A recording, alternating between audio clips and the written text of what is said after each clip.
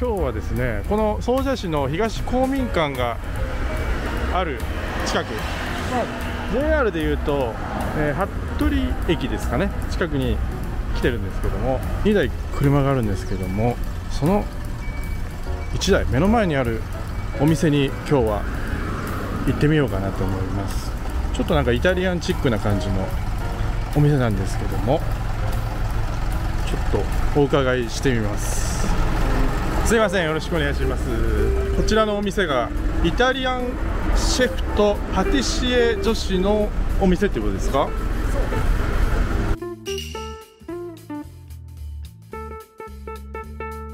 ここはイタリアンとちょっとなんかスイーツというか甘い系のものを出してるということですねはい。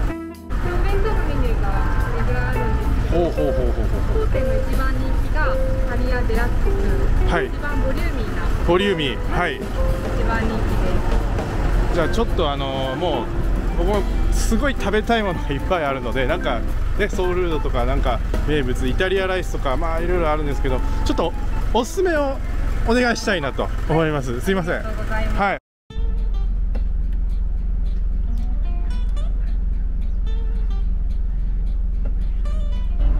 どうですかやっぱりキッチンカーキッチンカー最初なかなか大変だったんですけど。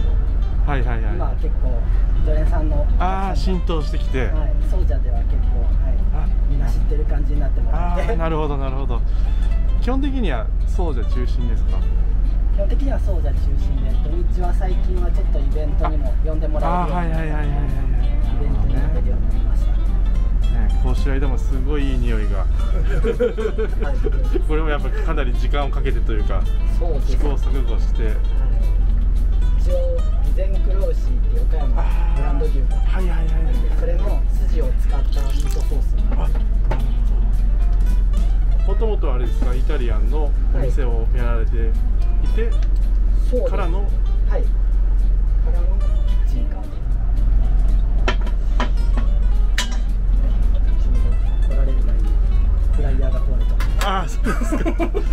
ハプニングが。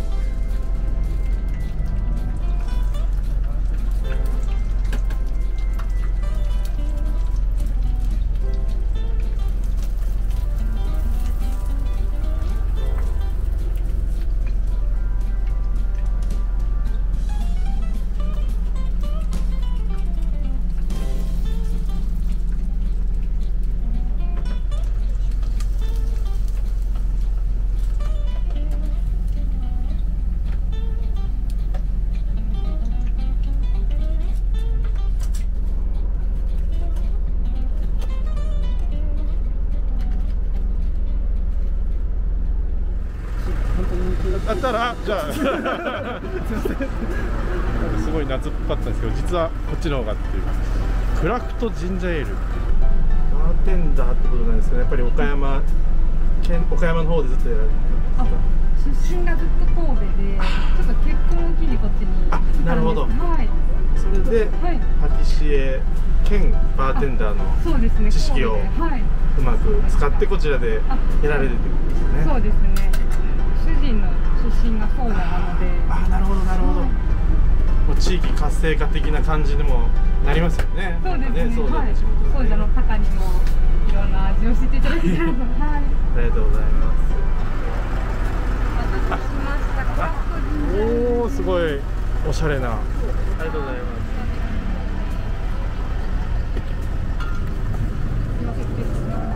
おおやってきました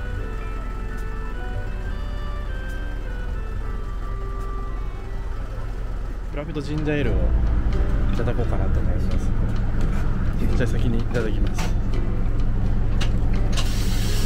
うん。すっきり。なんかさっぱりですね。すごい味ですごい甘くて。うん。やっぱこのジンジャーエール。まあ生姜ですよね。なんか夏バテ防止に良さそうな。であとこのレモン。感じがしますね。なんかすごい美味しいですこれ。う隠し味ちょっとだけ見るとーん。でそれでなんか余計すっきりする感じなんですね。じゃあ続いてはこちらをいただこうかなと思います。すごいなんかもうこの段階でかなり重量感を感じます。ねえ。ねえがっつりボリューミーな感じでございます。じゃあちょっとこちらいただきます。うん。あ。お肉がすごい柔らかくて。うーん。ごま油の風味がものすごく感じなんかよりなんか香ばしさを感じますね。そうん。いやすごい美味しいですうん。あこの下に隠れてる。ミートソースがまた。いいですねこれ。うーん。相性がすごい。すごいいいですね。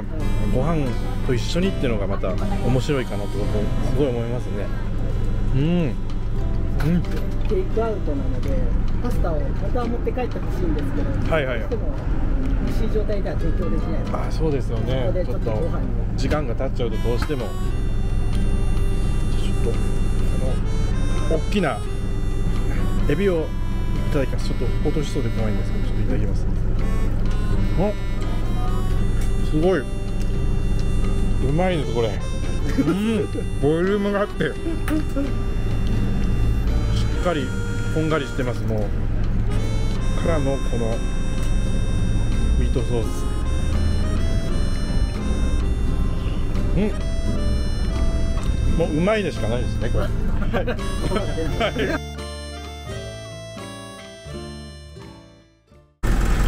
はい。今日はありがとうございました。ありがとうございました。とってもね美味しくてなんか普段食べないようななんかイタリアンをもうキッチンカーでそのまま味わえたような感じで美味しくいただきました。帯を決めて大体同じところに出させてもらってるんであーはいはいはいはい詳しくはあのインスタグラムからっていうことですよね、はいもうそこに大体情報が載ってるっていうことで。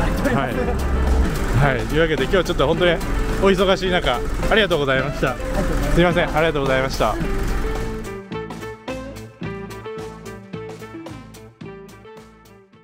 の動画をいいと思ったらグッドボタン。